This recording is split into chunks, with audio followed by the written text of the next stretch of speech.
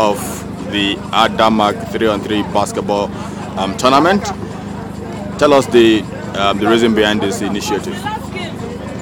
Well, basically, Adamark Foundation for Girls is all about girls and who we know eventually will become women. Uh, the idea is that um, we believe in the empowerment of women through basketball or sports generally, but we have zeroed into basketball and education. So um, the 3 on 3 is just to create a platform for girls to have to have some fun too, because we know that bulk of the 3 on 3 that go, go on right now in the country, they are basically male. So we we decided to put a little tweak on it by making our teams instead of four girls, we have three girls and a boy, so that we can carry the boys along because we believe completely in gender equality. So, um, gender equality right now, the short term and long term goals for these girls. Yeah, well, the truth is, um, for you to play the three I'm sure you have you should have basic uh, foundation in basketball, which we already do during the summer camp for the girls, which is an all-girls training.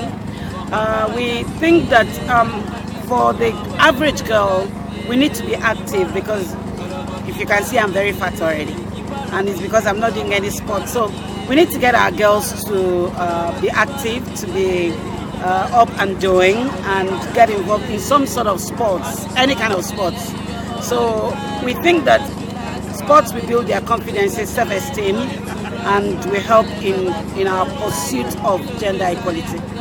Um, you having a very strong background in terms of uh, basketball in Nigeria. Um, are you worried about the loop-sided I, am view of the government towards football in detriment of other sports?